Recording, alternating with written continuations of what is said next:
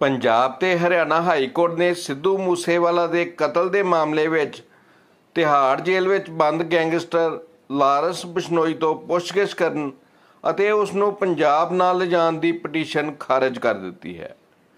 Gangster Lawrence Bishnoi ਨੇ ਮੂਸੇਵਾਲਾ ਕਤਲ case ਵਿੱਚ ਆਪਣਾ ਨਾਂ ਸਾਹਮਣੇ ਆਉਣ ਤੋਂ ਬਾਅਦ ਸੁਰੱਖਿਆ ਦੀ ਮੰਗ ਕਰਦਿਆਂ ਪੰਜਾਬ ਹਰਿਆਣਾ ਹਾਈ ਕੋਰਟ ਵਿੱਚ ਪਟੀਸ਼ਨ ਦਾਇਰ ਕੀਤੀ ਸੀ। ਇਸ ਤੋਂ ਪਹਿਲਾਂ ਉਹਨਾਂ ਨੇ ਦਿੱਲੀ ਹਾਈ ਕੋਰਟ 'ਚ ਪਟੀਸ਼ਨ ਦਾਇਰ ਕੀਤੀ ਸੀ, ਪਰ ਬੁੱਧਵਾਰ ਨੂੰ ਉੱਥੋਂ ਪਟੀਸ਼ਨ ਵਾਪਸ ਲੈ ਲਈ।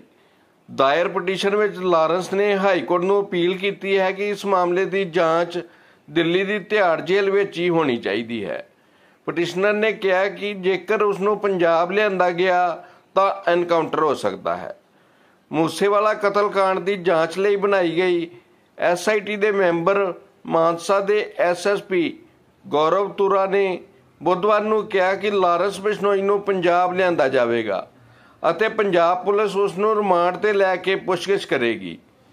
ਸਿੱਧੂ ਮੂਸੇਵਾਲਾ ਕਤਲ ਕੇਸ ਦੀ ਜਾਂਚ ਨੂੰ ਹੋਰ ਤੇਜ਼ ਕਰਨ ਲਈ ਡੀਜੀਪੀ ਵੀਕੇ ਭਾਵਰਾ ਨੇ ਬੁੱਧਵਾਰ ਨੂੰ ADGP anti gangster task force Pramod Ban ਦੀ ਨਿਗਰਾਨੀ ਹੇਠ ਐਸਆਈਟੀ ਦਾ ਗ- ਪੁਨਰਗਠਨ ਕੀਤਾ ਅਤੇ ਤਿੰਨ ਹੋਰ ਅਧਿਕਾਰੀਆਂ ਨੂੰ ਇਸ ਵਿੱਚ ਸ਼ਾਮਲ ਕੀਤਾ ਗਿਆ। Bureau report Divya Punjab TV Chandigarh.